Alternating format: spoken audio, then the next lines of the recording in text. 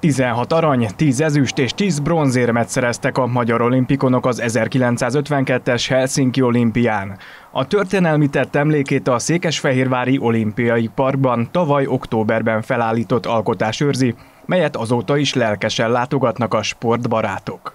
Több, mint a hazaszeretet, hazaszerelem az, ami ilyenkor megnyilvánul, és ezért nagyon fontos, hogy ezekkel a emlék, ilyen emlékművel mindig emlékezzünk, mindig felidéződjünk, felidéző jön bennünk, szóval kellenek, kellenek a példaképek, kellenek a hősök, és kellenek ezek az emlékek.